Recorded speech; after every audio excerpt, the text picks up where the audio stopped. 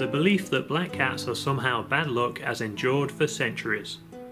Black cats weren't always the cause of superstitions, feared, or even considered bad luck. In fact, in early Egyptian times, cats, including black ones, were worshipped, and killing one was considered a capital crime. It wasn't until the Middle Ages in Europe that the reputation of black cats started to go downhill, as they began to be associated with so-called witches.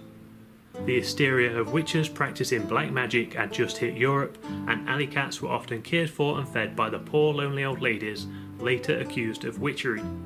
Their cat companions, some of which were black, were deemed guilty by association.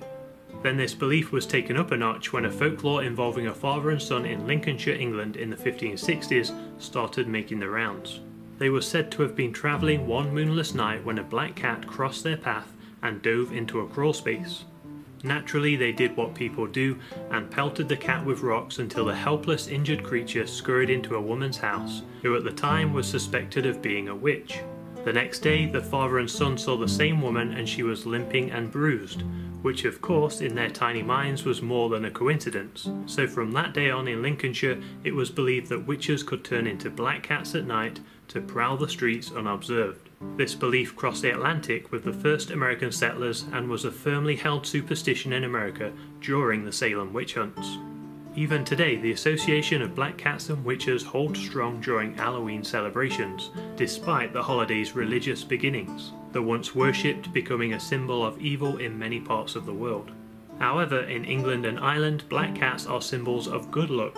In the English Midlands, a black cat as a wedding present is thought to bring good luck to the bride, and the Scottish believe that a strange black cat's arrival to the home signifies prosperity. Black cats are also considered good luck in Japan, but most of Western and Southern Europe still consider the black cat as a symbol of bad luck, especially if one crosses your path, which is believed to be an omen of misfortune and death. So what's the truth about black cats? The truth is these are superstitions from centuries ago. Sadly, black cats remain in shelters longer than cats with coloured or pattern coats, and are often the last to be adopted and the first to be euthanized. There's still people that believe these dumb superstitions, but the real truth is that cats, no matter what the colour of their fur is, all have different personalities and none of them bring bad luck.